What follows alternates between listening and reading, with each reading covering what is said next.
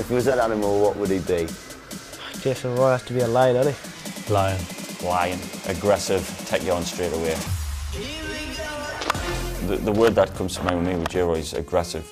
He doesn't let you settle. Unbelievable on the short ball. Oh, wow, that's brutal. I think his greatest attribute is he has the ability to take down the opposition's best bowlers. Oh, no, that's so good. It's ridiculous. That's intentional.